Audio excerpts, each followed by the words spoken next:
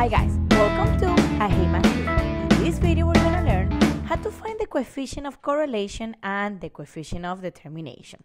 But first, let's understand what is each one.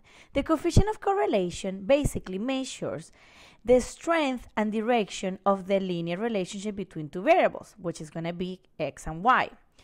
Then the determination, which is r squared, as you can see this is r and this is r squared, it determines how accurate the linear regression will predict the values of y.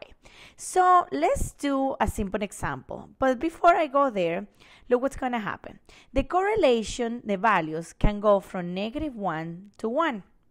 Now, when you have like a negative correlation, for example, I'm going to put an example, drinking versus the ability to drive safely, the more you drink, the less is your ability of driving home safely. Then that's going to be an example of a negative correlation. If there is no correlation, that means that the R is equals to zero. There's no relationship between the two variables. For example, drinking water and winning the lottery. You there's there's no relationship between those two. Positive correlation is the more you study, the better grades you get. So as you can see here, the, the coefficient of correlation goes from negative 1 to 1. Now, the coefficient of determination will always be positive because look, it's an r square.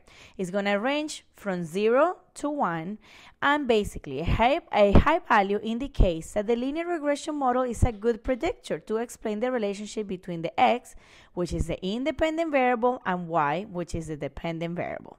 So let's do a fun example. Let's say that um, I went ahead and I got a couple cupcakes for during the week, and I'm tracking my weight gain. I love cupcakes. So if I eat two cupcakes, that week maybe i will i'm just exaggerating this problem obviously.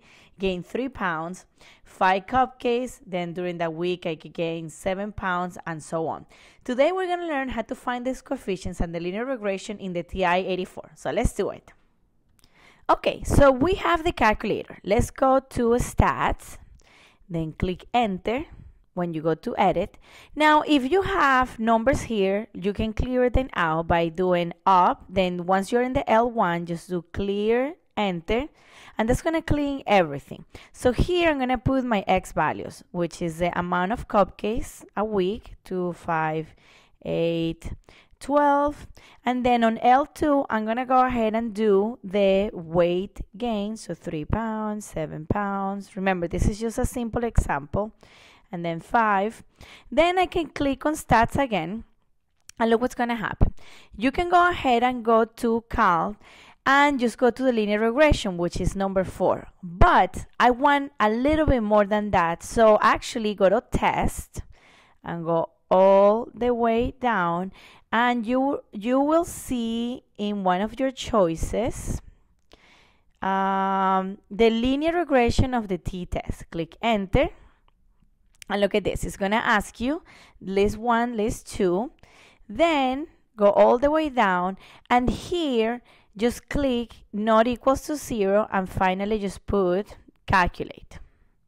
And look at this, it's going to give you all the information you want. It's going to give you, if you go all the way down, it will give you the A value, which is going to be um, the constant, the B value, which is the slope. It's going to give you the R square, which is right here, 0.1024, is going to give you the R, which is 0.32, and those are the values that we were looking for, the coefficient of correlation and the coefficient of determination. Okay, so we have the results and we got that the coefficient of determination was 0.1024 or as a percentage 10.24%. This is a really small value. So maybe this is not a good predictor. Maybe cupcakes are not the responsible of the weight gain. Also, the R, which is the coefficient of correlation, is a 32%. It is positive. That means that the more cupcakes, the more weight gain.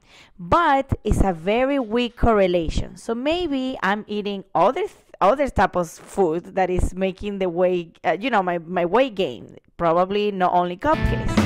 So that's it. Thank you so much for watching the videos. Please don't forget, go to our website and also thanks so much for learning.